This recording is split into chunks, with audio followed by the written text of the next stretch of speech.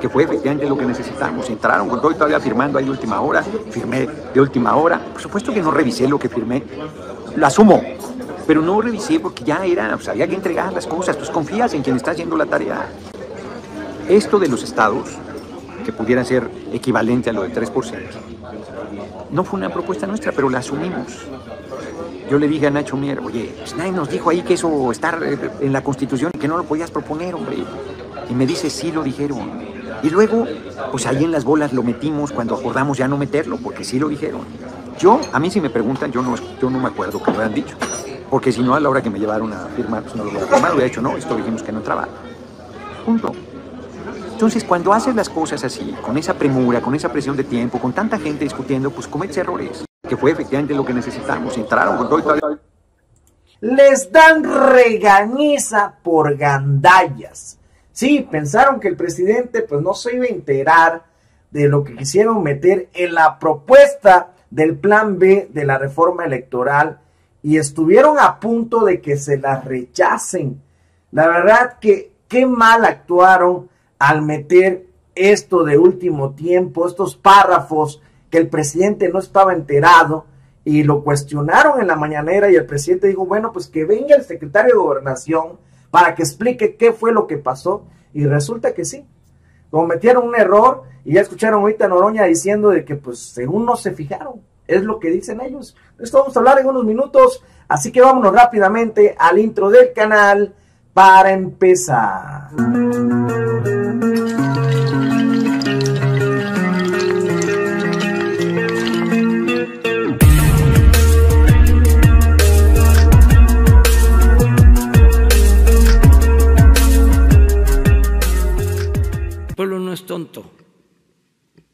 Tonto es el que piensa que el pueblo es tonto, con todo respeto a los tontos. Muy buenas noches amigos, sean bienvenidos a esta transmisión. Gracias a todos los que se están sumando al chat, bienvenidos. Y también un cordial saludo a los que posteriormente pues vean esta repetición. Les dan tremenda regañiza por gandallas. La verdad sí por gandallas porque no hay otra forma de llamarlo.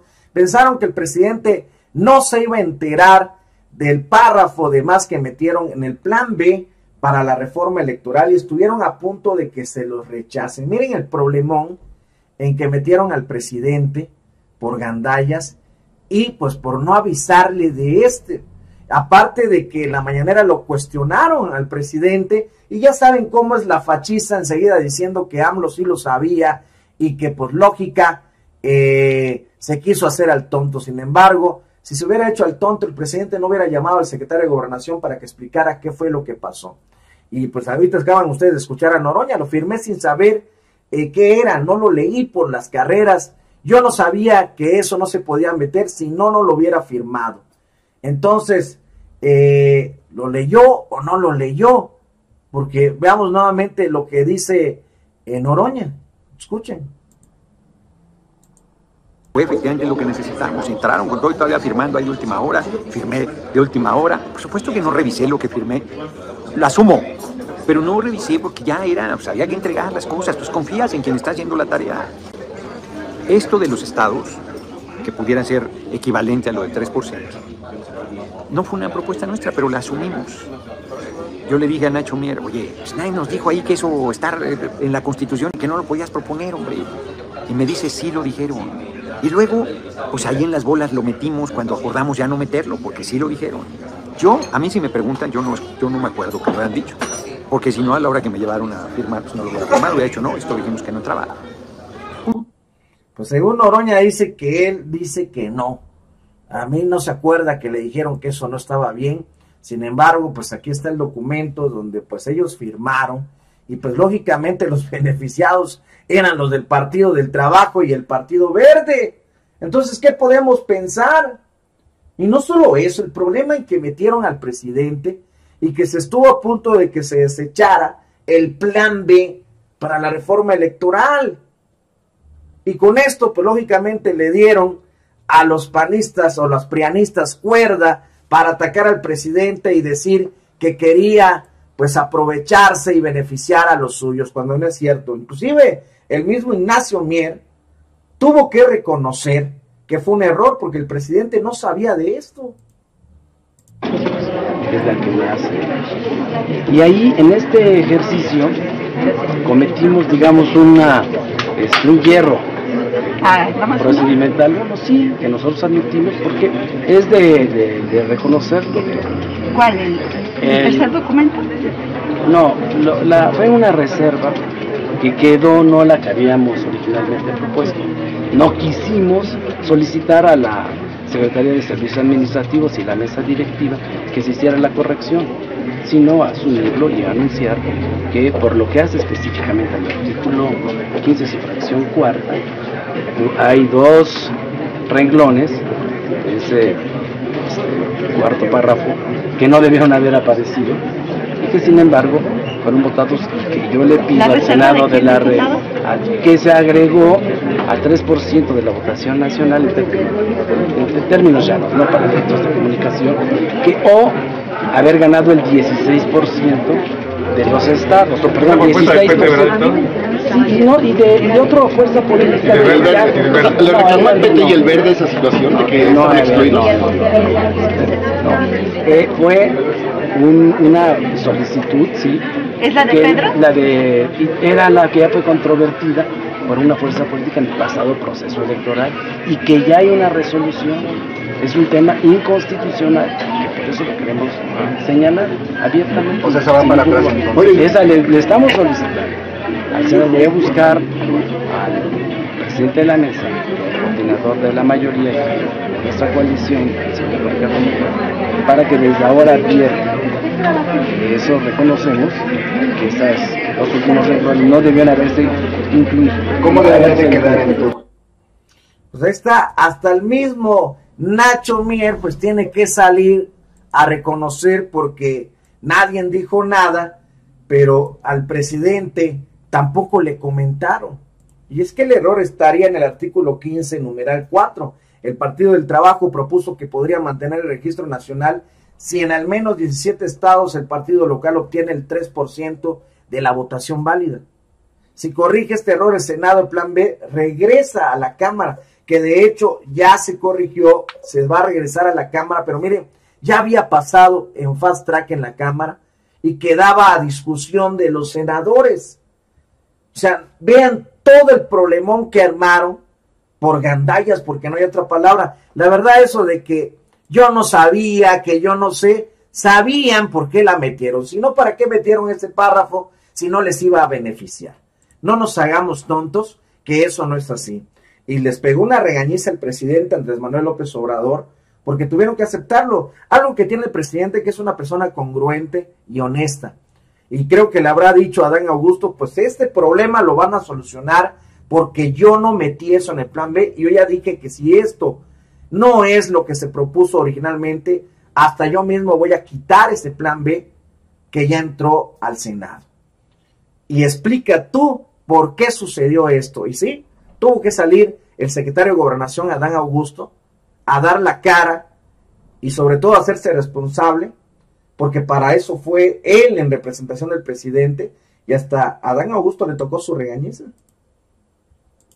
Pues efectivamente, tal y como se, se planteó el día de ayer, sí hubieron eh, modificaciones eh, en el dictamen que emitió la Cámara de Diputados, eh, modificaciones a la iniciativa original. Básicamente son este, tres puntos.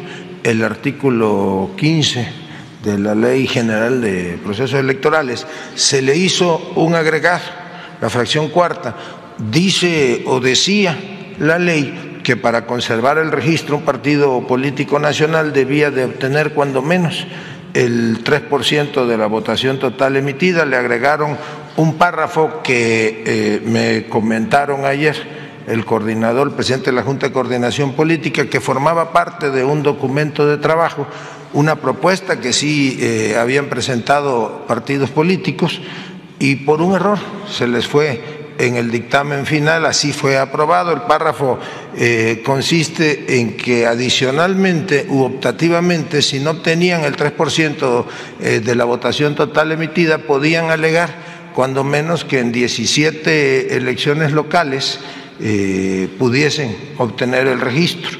Esto es un texto inconstitucional, incluso hay un fallo ya de la Suprema Corte de Justicia de la Nación, el proceso electoral pasado, y eh, ayer mismo reconocieron, reconocieron el error, han hecho ellos el planteamiento a la Cámara de Senadores para que se modifique el texto. Yo incluso platiqué anoche con eh, el presidente de la Junta de Coordinación Política del Senado y con los presidentes de las comisiones y se va a hacer la modificación y regresará la minuta a la Cámara.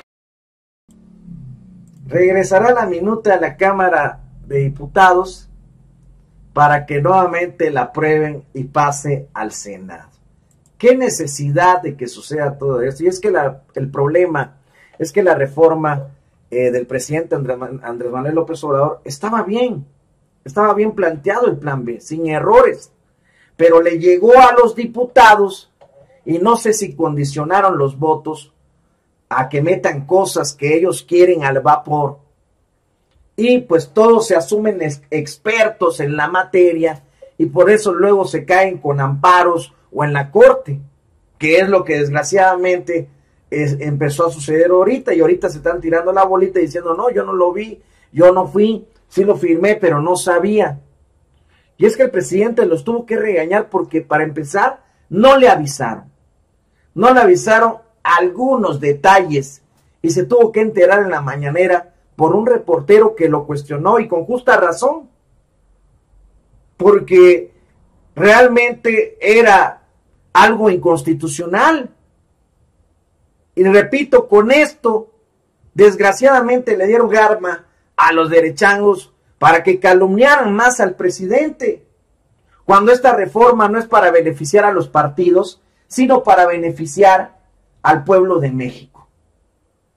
Y ahorita se va a regresar nuevamente a la Cámara de Diputados para volver a pasarlo y después que llegue a discusión al Senado. A ver si no hay un problema que ojalá que no suceda.